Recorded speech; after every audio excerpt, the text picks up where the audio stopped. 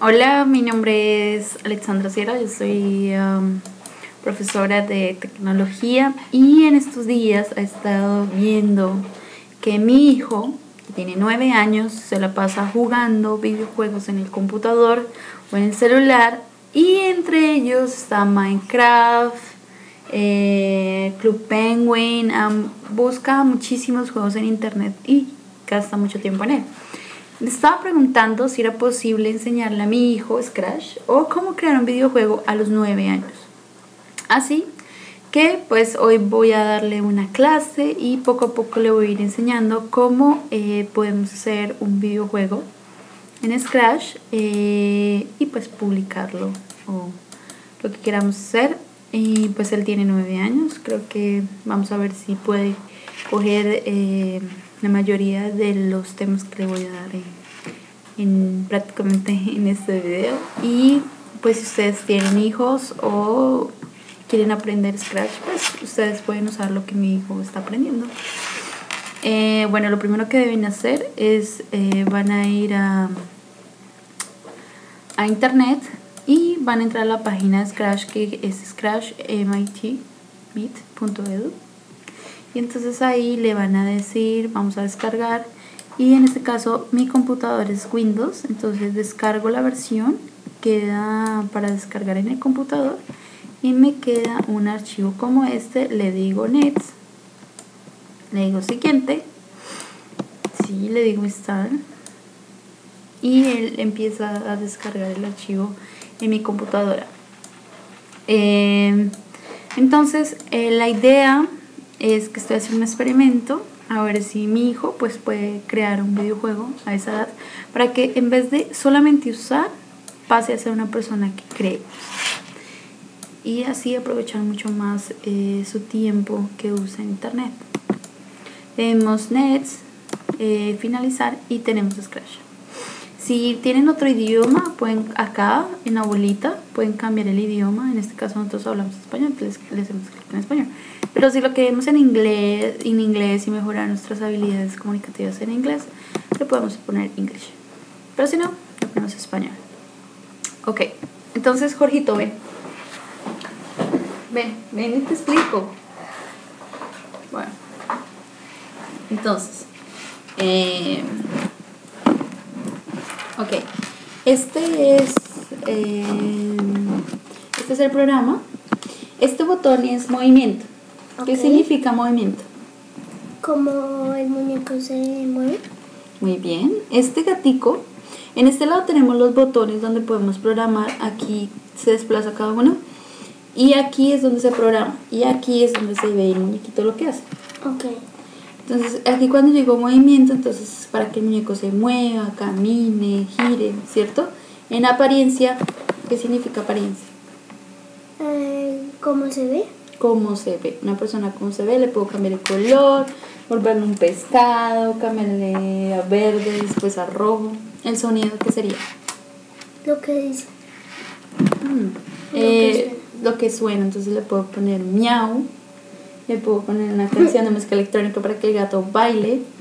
En lápiz yo puedo dibujar, puedo hacer una figura geométrica, puedo decirle al gato, bueno, dibújame un cuadrado. Con eso puedo dibujar cosas. En control, control es uno de los, de los más importantes botones porque aquí podemos eh, mostrar, digamos, cómo, cómo le vamos a dar las órdenes al gato para que haga alguna, algún movimiento, cambie de apariencia, ¿sí? Y en sensores, por ejemplo, es muy importante porque sensores como los sentidos del cuerpo. Entonces, si detecto, por ejemplo, el color verde, entonces el gato no camina ahí. Si se detecta el azul, sí, así. Entonces yo le digo qué sensores voy a usar. Operadores son como operaciones matemáticas en donde son muy importantes para decir, ¿sabes qué es esto? ¿Sí? ¿Qué es? Es el mayor y el menor. Mayor que, igual que y, sí, menor que. Este es cuando se une dos y aquí, bueno, podemos unir frases y todo. Y las variables es, por ejemplo, algo que, no es fijo, ¿sí? sino variable es como el tiempo. ¿Qué más sería variable? El Mm, clima, El clima. ¿sí? la temperatura. La temperatura. Muy bien, entonces yo cojo aquí una variable cuando quiera. Entonces, ¿cómo vamos a empezar nuestro juego? Entonces empezamos aquí, control, y dale, dale Jorgito. Entonces lleva el presionar aquí en el centro. Tienes que usar eso. Arrástralo y llévalo al centro. Muy bien. ¿Esto qué significa? Que al presionar en este, lleva la cámara. Cuando, cuando le hagas acá, inicia el programa. Si no tiene esto, tenemos que usar otra variable. Muy bien. Ahora, ¿qué sigue? Entonces, por ejemplo, este por siempre es cuando yo quiero que se repita un movimiento o repetir la cantidad de veces que yo quiero que lo haga. Entonces vamos a ver un ejemplo. Lleva a repetir desde debajo de por siempre. Ahora vea movimiento.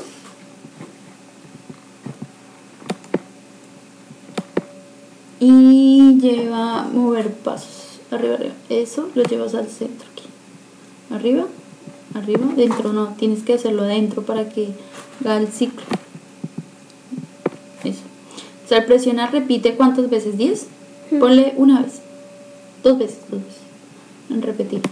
Ahí puedes cambiar los números. Dos. Dos. Eso.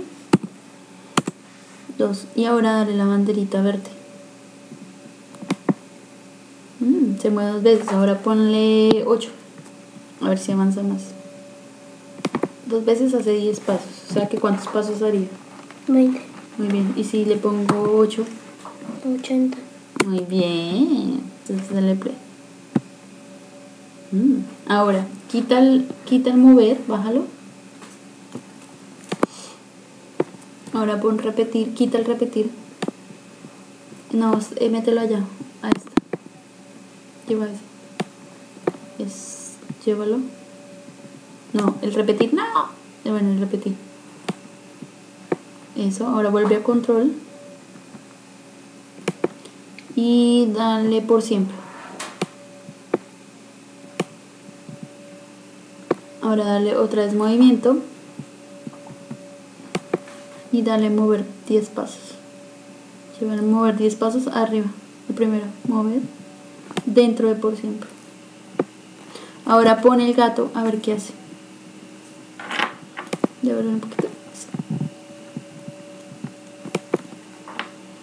Uy, se fue el gato, ¿cierto? Entonces dice que siempre va a hacer ese movimiento, caminar y caminar hasta que se le acabe el espacio para caminar. Ahora bien, algo que tienes que saber muy importante es cómo funciona este tablero. Si ves que aquí se cambian los números, cuando yo hago aquí es un valor, cuando yo hago aquí es otro valor, cuando yo hago aquí es otro valor, cuando hago aquí es otro valor y aquí otro valor, ¿cierto? Porque aquí dice X y dice Y. Te voy a explicar qué significa eso. En matemáticas hay el que se llama el plano cartesiano. Entonces el plano es esto. ¿Qué significa? ¿Tú has visto esto alguna vez? No.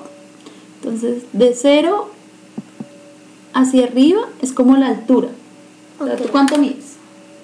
Eh, 180. ¿Un metro? Un metro ochenta. no, en serio, ¿cuánto mides? Un metro cuarenta y cinco. Ah, metro cuarenta y cinco. Pero ¿qué tal tú vivieras en el mundo de los... De aquí a aquí, la gente que salta, la altura, ¿sí? O sea, por ejemplo, tú mides por aquí, digamos. Y la mamá mide por aquí. Y los gigantes miden por aquí, ¿sí? Pero, por ejemplo, fuera pitufo. Entonces, en los pitufos, ¿qué tal entre más chiquito, más chiquito, más chiquito, más chiquito, más chiquito, más chiquito, ¿sí? Entonces es negativo, menos 1.50. O sea, menos, menos, menos, menos, menos. Entonces son para los enanitos. ¿Sí? Entonces aquí es negativo.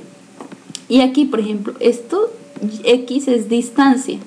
Entonces aquí es hacia la... Por ejemplo, ¿cuál sería una distancia positiva?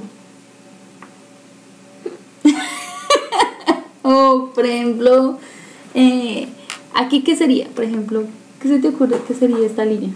Cuando el número es más. Eh, cuando es más gordo. No, no, no, acá no es no la anchura, sino la distancia. Por ejemplo, la derecha. Ah. digamos que la derecha tuviera un número positivo y la izquierda tuviera un número negativo. Entonces aquí diría, por ejemplo, menos 5, es a la izquierda. Y aquí menos, digo, 6, 5 es a la derecha. Entonces si yo te digo, Jorgito, tienes que ir a 5. Entonces, ¿hacia dónde vas? A la derecha. A la derecha. Y si te digo menos 6, A la izquierda. eso muy bien. Es, tiene 5, ¿qué es? En 5Y, Es 5 de altura. 5 de altura. Y si es menos 5Y, Eh, menos altura. menos altura. Bueno, sí puede ser menos altura. O que ya es súper, súper pitufín. bueno, entonces eso le pasa al gato. Entonces hay, hay una, aquí hay algo que se llama em, apariencia. Ah, no, no, mentira, mentira. En movimiento yo puedo ubicar al gato. Porque el gato se me fue y ya no vuelve. Si yo le doy play otra vez, el, el gato yo no puedo ver que vuelva a la posición inicial, ¿cierto? Con este botón que se llama ir a X y a Y, yo le voy a dar una ubicación aquí en el mapa. Cada vez que yo le diga al presionar, lo ubico. ¿Sí? Que yo quiero que me empiece el gato acá, o que me empiece el gato acá, o que me empiece el gato acá, o acá, o acá, ¿sí? Entonces, para programar un juego, un videojuego, se necesita ubicar los animales al principio. Ok. Bueno, entonces, por ejemplo, ¿dónde sería? Ponle 0, 0. A ver qué hace el, el gato. ¿Dónde se ubica? 0. Ajá. No, no, no. Es solo un 0. Y ahora aquí en Y ponle un 0. O sea, ¿cuánto tenía altura? 0. Y de, a la derecha 0 y a la izquierda 0. Entonces ahora ponle la banderita. Entonces vamos a ver en cámara lenta separando este por siempre. Vuelve otra vez a darle. Mm. Llevamos este para allá para que no. Para que no. Ok. Entonces, digamos que ahí ya, ¿no? Ahora. em, ahora cambia aquí en X. Ponle, por ejemplo, a la derecha. Entonces ponle eh, 70. O bueno, ¿qué propusiste? 50. Y en Y 0. 0. Déjalo en el centro. Listo, entonces play. Ajá, se fue a la derecha. Ahora ponle menos 50.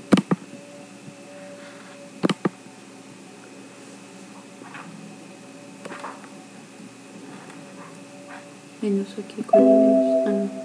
Después le pongo español. Ahora sí, ponle menos. Muy bien. Ahora darle la bandera. Ajá, se fue a la izquierda. Ahora sube el gato. Si quiero subir el gato, ¿cuánto le pongo? Listo, ahora darle play. Ujú. Ahora baja el gato. Pone aquí menos.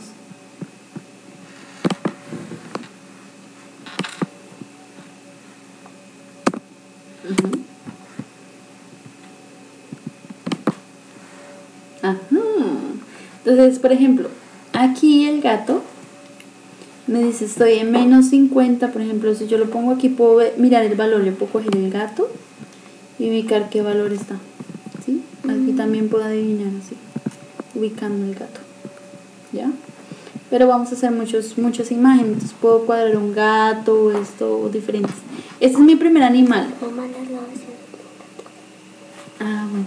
Entonces, este es el objeto. ¿Listo? Y, eh, y bueno, entonces ya para mañana vamos a seguir haciendo más animales. ¿De qué quieres hacer un videojuego? Mm,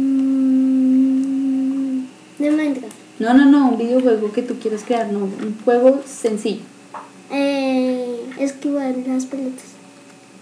Se esquivan pelotas que salten. Ah, esquivar pelotas. ¿O no te gusta como cohetes? Hacer que un cohete. Oh, sí.